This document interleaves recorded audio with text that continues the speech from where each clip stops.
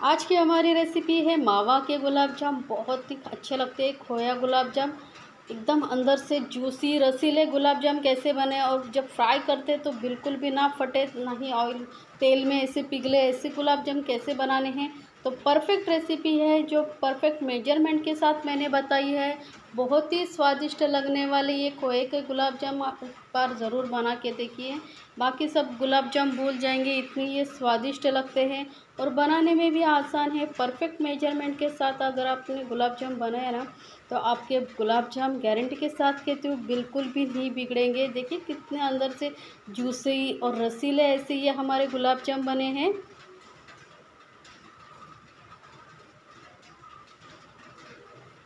अंदर से देखिए एकदम जूसीले गुलाब जाम बने हैं। तो इसकी विधि देखते हैं कैसे बनानी है वो। तो सबसे पहले हमें चाशनी बनानी है तो उसके लिए मैंने यहाँ पे डेढ़ कप ली है शक्कर। ये आधा कप, और इसमें इसका दुगना पानी डालेंगे, यानी तीन कप पानी डालेंगे। और इस चाशनी को अच्छी तरह से हमें पकाना है। एक या दो तार ऐसे बनाना नहीं है। चाशनी, बस शक्कर पिघल जाए और एक दो तीन मिनट हमें इसे शक्कर पिघलने के बाद उबालना है। इतना ही हमें पकाना है। तो ये हो गया है तीसरा कप। तीन कप पानी मैंने डाल दिया है और गैस का फ्लेम यहाँ पे मीडियम रखेंगे। अभी स्वाद के लिए यहाँ पे मैंने डाला है इलायची पाउडर थोड़ा और केसर के धागे केसर के धागे ऑप्शनल है, नहीं डालेंगे तो भी चलेगा, लेकिन इससे कलर बहुत अच्छा आने वाला है चाशनी का। अभी देखिए, चीनी हमें, हमारी जो है पिघलने लगी है। तो चीनी को अच्छे से पिघलने देंगे और उससे दो तीन मिनट ही उबालेंगे चीनी पिघलने के बाद। तो ये चीनी देखिए, हमारे थोड़ी सी ही पिघलने बाकी है, अच्छे से पिघल चुकी है चीनी। अभी इसे दो तीन मिनट के लिए ही उबालेंगे इसे। बस थोड़ी सी ना, इसे चिपचिपी इससे हमें चाशनी की ज़रूरत है। अभी चाशनी भी हमारी उबल चुकी है। अच्छी तरह से तो गैस को मैं कर देती हूँ बंद और इसे हमें ढक के साइड में रखना है। अभी देखते हैं मावे की तरफ़ मावा कैसे बनाना है। सॉफ्ट एकदम। तो यहाँ पे एकदम सूखी वाली प्लेट लेनी है हमें। या तो यहाँ पे मैंने लिया है 200 ग्राम मावा। और ये मावा ना थोड़ा दानेदार रहता है तो इसे हमें एकदम स्मूथ बनाना है। तो क्या करना है हथेली की हथेली से ना ऐसे ऐसे रगड़ना है अच्छी तरह से, ताकि उसमें जो भी दाना वगैरह हो ना, वो एकदम स्मूथ बने। बिल्कुल भी दानेदार नहीं चाहिए हमें ये मावा, एकदम स्मूथ होना चाहिए। और ये मावा मैंने मार्केट से लाया है खोया अब घर का बनाया हुआ भी ले सकते हैं। तो ऐसे अच्छी तरह से हमें ना इसे रगड़ रगड़ना है, और ये बहुत ही एकदम स्मूथ ऐसे ये हमें खोए को बनाना है।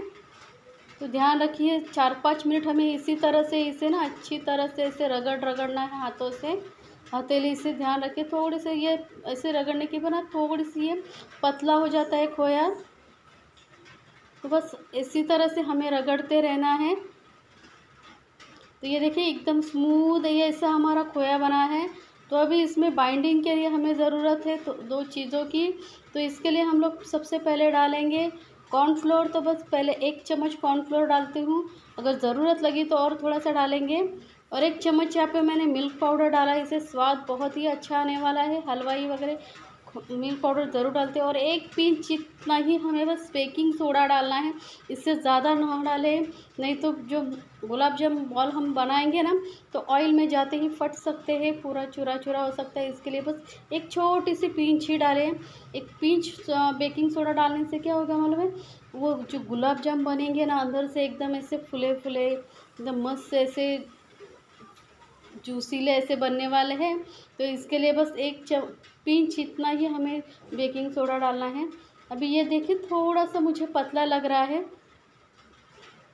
तो इसके थोड़ा सा ये देखिए पतला है। तो इसमें हमें थोड़ा सा कॉर्नफ्लोर और मिलाना है। तो यहाँ पे मैं थोड़ा सा आधा चम्मच जितना ही कॉर्नफ्लोर डाल डाल रही हूँ, यानी टोटल हम लोगों ने डेढ़ चम्मच जितना कॉर्नफ्लोर डाला है, इससे ज़्यादा की ज़रूरत नहीं है। अगर आपका पतला मावा थोड़ा सा पतला नहीं लगे तो नहीं डालें, लेकिन थोड़ा सा मुझे लग रहा था, इसलिए मैंने बस थोड़ा सा ही और कॉर्नफ्लोर डाला। अच्छी तरह से वापस से कर लेते हैं मिक्स अच्छी तरह से। भी देखिए, मावा मावा का, गुलाब जाम का मिक्सचर हमारा तैयार है, बिल्कुल भी हाथों में वगैरह चिपक नहीं रहा है परफेक्ट बना है। तो इसे अभी अच्छे से गोल बना के रखेंगे। अभी इससे हमें छोटे छोटे बॉल्स बनाने हैं। एक छोटा छोटे से गुलाब जाम के बॉल बनाएँगे। तो देखिए, बिल्कुल भी कहीं से क्रैक नहीं, कुछ नहीं, एकदम परफेक्ट हमारी ये मावा का मिक्सचर है, वो बना है। एकदम स्मूथ दिखने में, देखिए।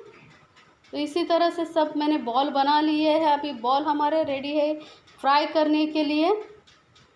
तो गैस पे मैंने कढ़ाई चढ़ा रखी है, उसमें ऑयल गरम करने रखा है। ऑयल भी एकदम टेम्परेचर उसका बहुत ही कम होना चाहिए, बिल्कुल भी हाई एकदम कड़कड़ा गरम नहीं होना चाहिए। थोड़ा सा गरम हो जाए, तभी उसमें गुलाब जाम डालिए। अगर तेल ज़्यादा गर्म रहेगा तो गुलाब जाम डालते ही फट सकते हैं। इसके लिए ध्यान रखिए, तेल का टेम्परेचर बहुत ही कम होना चाहिए और बस थोड़ा थोड़ा सा ऐसे हिलाते जाइए ताकि ना गुलाब जो बॉल है, सब जगह से ऐसे टर्न हो और अच्छी तरह से सब जगह से फ्राई हो। अभी ये बॉल ऑयल में जाते ही देखिए, थोड़े से फूलने लगे हैं, पहले से ज़्यादा फूल रहे हैं। तो धीरे धीरे ऐसे ये पकते फ्राई होते जाएँगे ना? वैसे वैसे ये फूलते जाएँगे। अभी देखिए बॉल देखिए, पहले से ज़्यादा फूल चुके हैं। एकदम मस्त ऐसे गोल मटोल बॉल हमारे गुलाब जाम के बने हैं। तो इससे बार बार ऐसे अलट पलट के हमें इसे सब जगह से अच्छी तरह से फ्राई करना है। अगर इसे बीच बीच में हिलाएँगे नहीं ना तो वो एक ही जगह से फ्राई होंगे, फिर एक जगह से फ्राई नहीं होंगे, बराबर नहीं दिखेंगे और टेस्ट भी अच्छा नहीं आएगा। तो इसे इसे टर्न टर्न करते रहिए और अच्छी तरह से सब जगह से फ्राई करते रहना है। अगर मेरी दिखाई हुई रेसिपी आपको अच्छी लगती है तो चैनल को लाइक्स कमेंट्स और सब्सक्राइब करना मत भूलिएगा। साथ ही में बेल आइकॉन पे भी प्रेस कीजिए, ताकि मेरी नई रेसिपी की नोटिफिकेशन आपको तुरंत मिल सके। तो गुलाब जाम बॉल के देखे? कलर बहुत ही अच्छा आया मस्त फ्राई हुए कलर ज़बरदस्त आया है। बस थोड़ा सा और इसे फ्राई कर लेंगे ताकि थोड़ा सा डार्क कलर हो तो दिखने में भी बहुत अच्छा आता है और गुलाब जाम अंदर तक अच्छे से फ्राई होंगे। और ध्यान रखिए, शुरू से एंड तक हमें गैस का फ्लेम एकदम लो पे ही रखना है।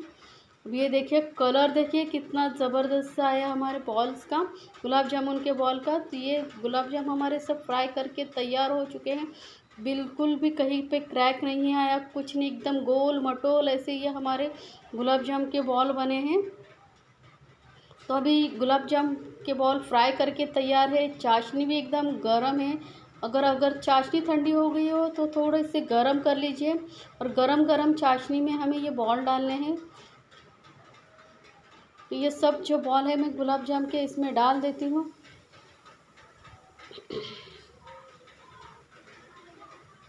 तो एकदम मस्त जूसी रसीले होंगे गुलाब जाम गुलाब जाम की चाशनी हमेशा गर्म होनी चाहिए, तभी ये अच्छे से अंदर तक सोख करते हैं गुलाब जाम चाशनी को इससे ढक के हमें तीन से चार घंटे के लिए साइड में रखना है।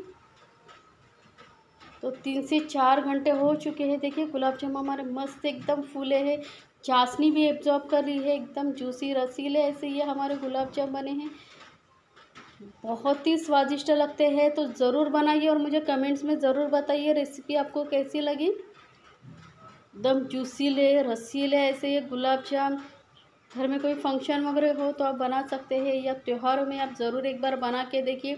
बाहर की मिलावटी चीज़ें खाने से घर की बनी अच्छी हेल्दी टेस्टी मिठाइयाँ बहुत ही अच्छी लगती है, और बनाइए और अपने फैमिली के साथ इंजॉय कीजिए।